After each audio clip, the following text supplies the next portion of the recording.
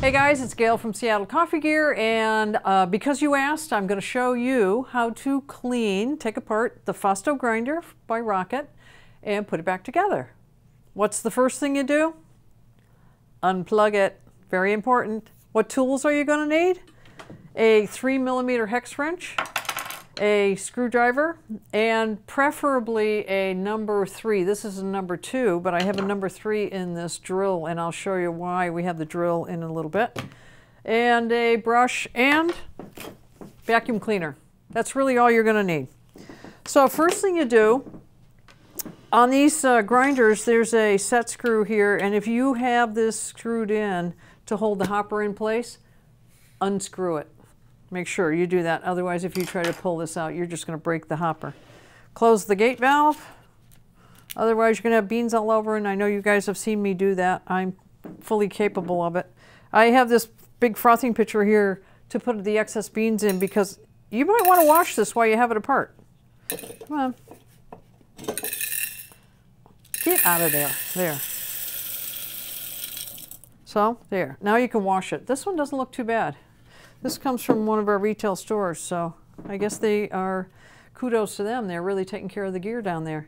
So as you can see, there are beans left in here, and that's where the vacuum comes into play. So we'll get that going.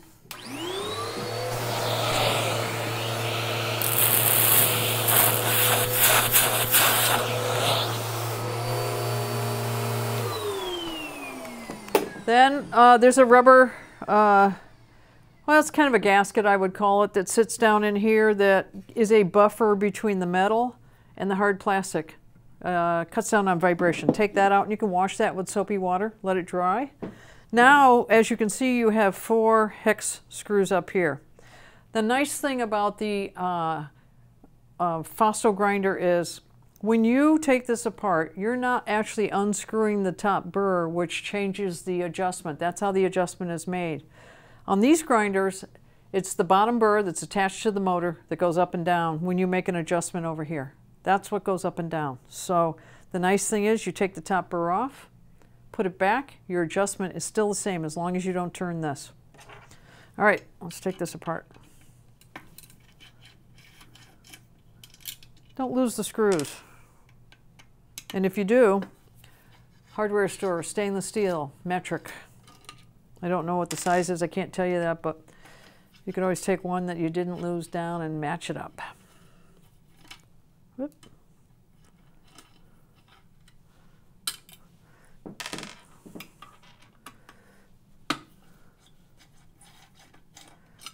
All right, so there you go. That just lifts right off. That's just your cover. You can wash that with soapy water if you like. Now you can see there are three screws up in here that hold that top burr in, and this is the auger that kind of pulls the uh, beans down so that they go down in there and get ground up. I tried to loosen it. All I had was this, uh, the number two, and it was too tight. So I went downstairs, and this is an impact wrench with a number three, and loosened those things right up. They're already loose, but if you don't have an impact wrench, you might want to think about it. I mean, if borrow one, whatever it takes, because these were really tight. And so they should be. There's vibration here. They need to be tight. All right, there's your top burr. There it is. And this is the bottom burr right down here, as you can see. So there is, you know, some coffee in here. And this is down in this area right here. That's the chute. You don't really want to take this apart to get at the back of the chute. The electronics are behind this panel. I don't advise taking that apart. There's a couple of screws here. Just don't take it apart because you don't want to mess with the electronics. If you break that, that's a big part of this machine. All right, so first off, what I'm going to do is just give it a first time vacuum.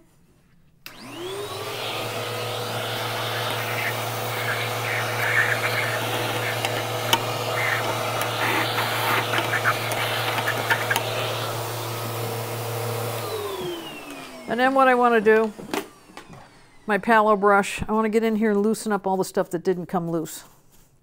That's what I want to do.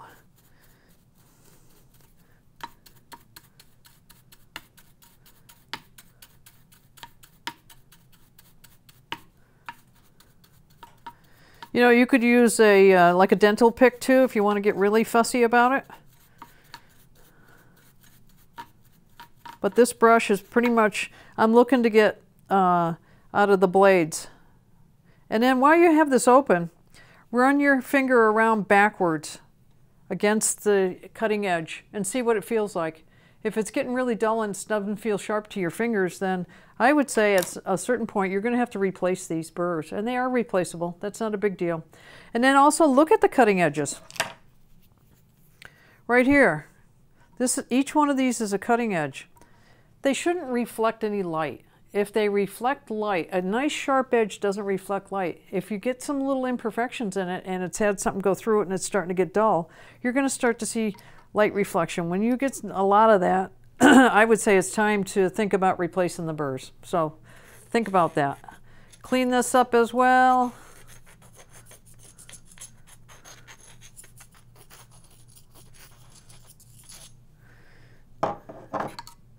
Get the, these little uh, paddles right here. That's what takes the ground coffee and sends it down the chute. Clean those off. They always have coffee all over them.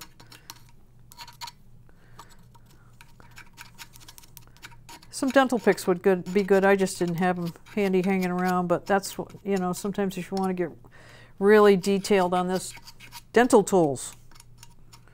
And you know, well, I don't know if, the, you know, I had a dentist in the family, so I got dental tools that were no longer useful in the shop at the dentist's office, but they were kind of nice to have. The real deal. All right, I think I got most of that out of there.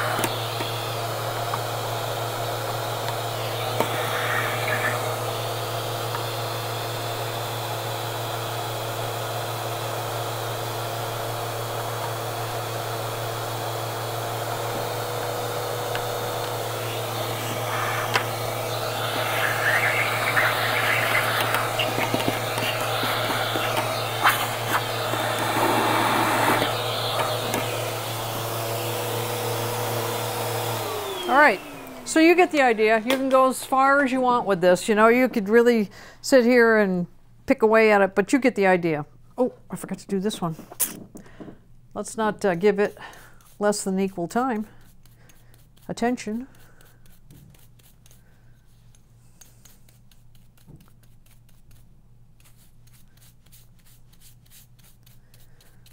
The more maintenance you do on these, the better. And then in between, taking it apart every now and again, uh, especially if you're using an oilier bean, uh, use Grindz, G-R-I-N-D-Z, on our webpage. That stuff is fabulous. Uh, you just run it through the grinder and then chase it with some coffee and in between doing this in more in-depth cleaning, that stuff is unbelievable. Uh, it just, I can't say enough good about it because it's great stuff. All right. So put this back together. The big screws. I'm not going to wash that right now. You get the idea on that too.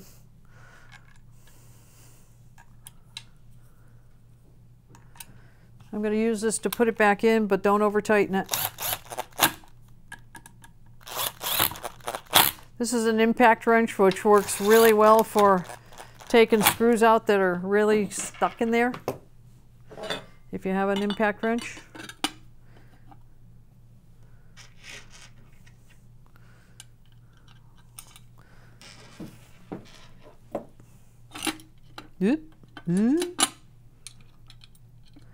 So I like the fact that we're not losing the adjustment. That's a biggie to me.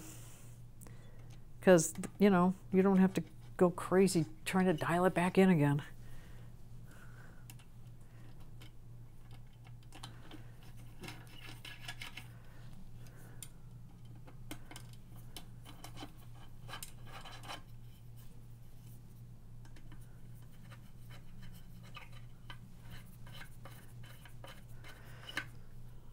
Alrighty.